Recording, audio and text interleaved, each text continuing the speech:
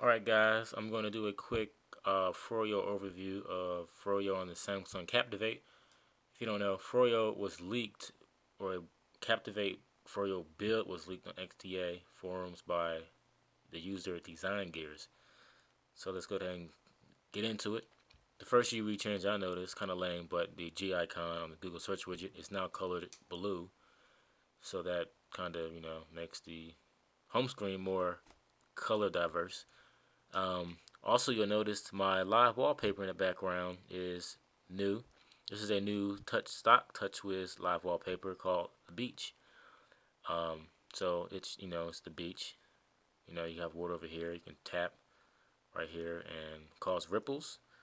And then back this up.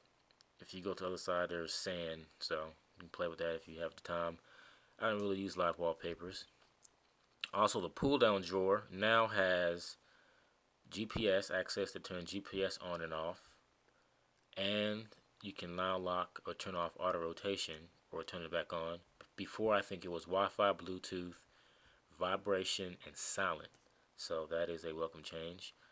Um, if you long press you notice that all the widgets are now in the widgets including Samsung widgets and regular Android widgets are now in the widgets section, whereas before Samsung widgets were separated out into the Samsung widgets. So you have, I am pretty sure it's all the same widgets. Um, you have the Android 2.2, the market widget, that's new to me anyway, and the program monitor, let's see what that is. And that shows you how many active applications you have. Interesting. Um, speaking of which, if you long press the home button, the home soft key, it shows you your recent applications, but also a link to a task manager, which is new to Captivate users. So it shows you all your running applications, you know, how much RAM they're using, how much CPU they're using. You can end all. So let's go ahead and end them. Um, shows you the software you have installed and you can uninstall from here. The RAM manager allows you to clear memory. I'm gonna guess this is some type of garbage collection, maybe, not sure. Um, and summary shows your memory capacity and how much memory you're using in each of the four areas. So you have program memory, personal data memory, your internal SD card, and then your external SD card. So that is cool. Um, if you long press the power button, you, you, it brings up the phone options menu, which was in older builds, but now you have an option to turn off um, data usage for your for you know 3G or Edge data. So, you know, if I was on 3G or Edge, you know, I can turn that data usage off.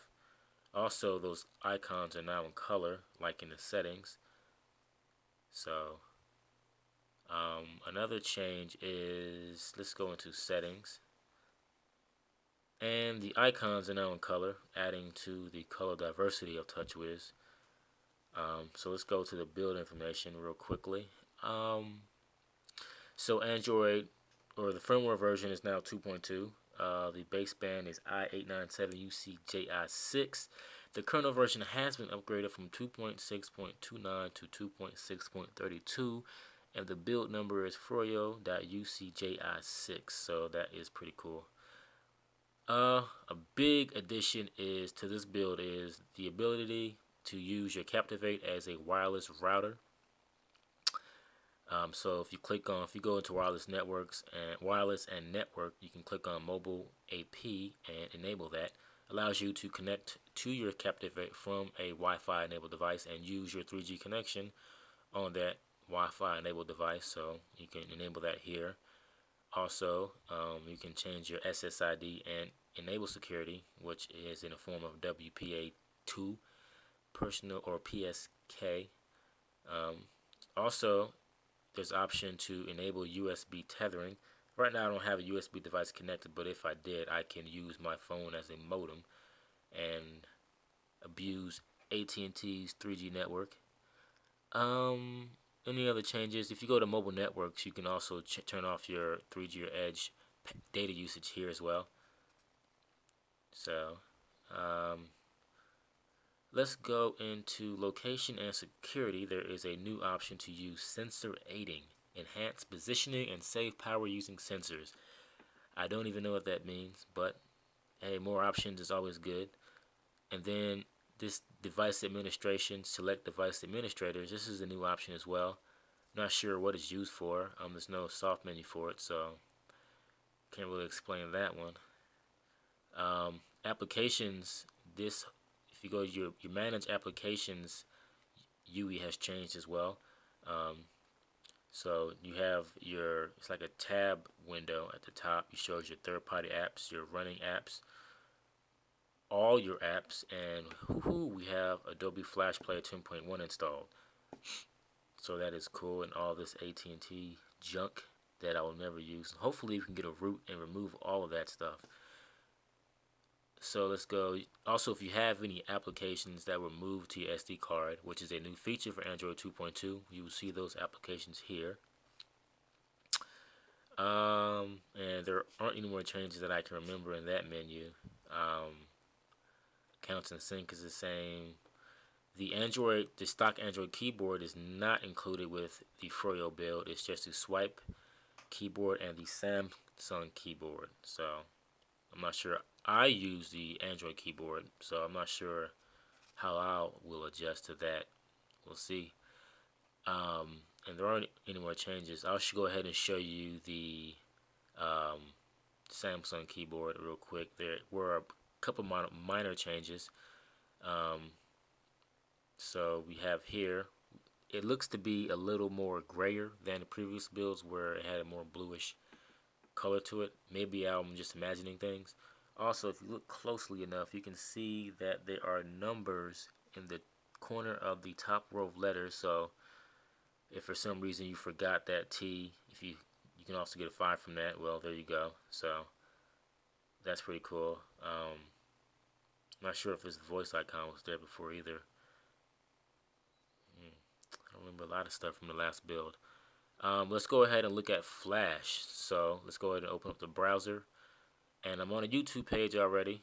Um, so we have the video here. And it is loading. And I turned the volume down, but so you can play it. So there you go. Got, the, got Flash fully enabled on a YouTube desktop app. So if you double tap the Flash video or game you're using, you can make it full screen and play it like this. So that's pretty cool. I kind of feel bad for the girl who just got clothesline now. So that's that's nice. You have all your YouTube options at the bottom here. You know, you can change the resolution, um, pause, muted, all that good stuff. So let's go back. Another change in the browser I've seen is you can access your brightness setting directly from this first soft menu. So whereas you had to press the soft menu and go into more and then change the brightness setting, you can now just change it from here. So I had it on the very lowest for the camera. So you can change it and have it be very bright and just kill your battery.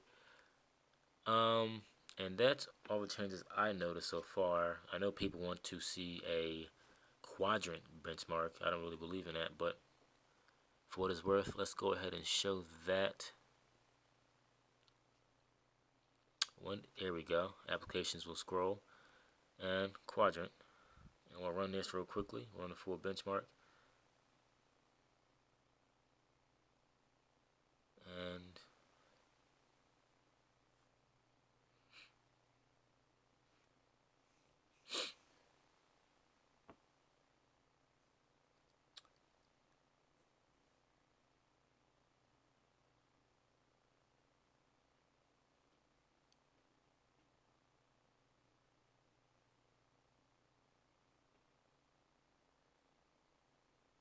and it looks like it's taking forever and a day on a database write test. So here we go. We have graphic tests.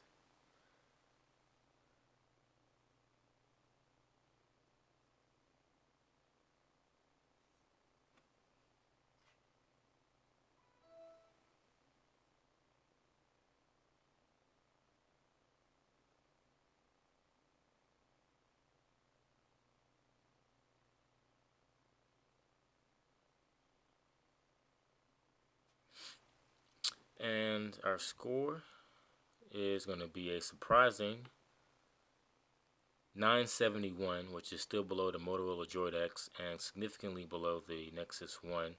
And I heard the T-Mobile G2 had a score in the 1500. So, you know, for what it's worth, we're slower by over, I don't know what, 33 or 50% or whatever that is.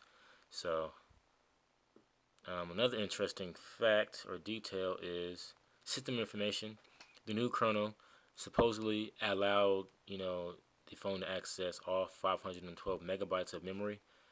Look at the total memory here, it looks like we have a total of 311 megabytes. So where the other 200 megabytes are, um, that is a mystery still in the latest Froyo build. So that's about it. Uh, if you have any questions, leave a comment or check out my blog at, which is emuneee.com, dot com, and I have some screenshots and other observations there. Thanks.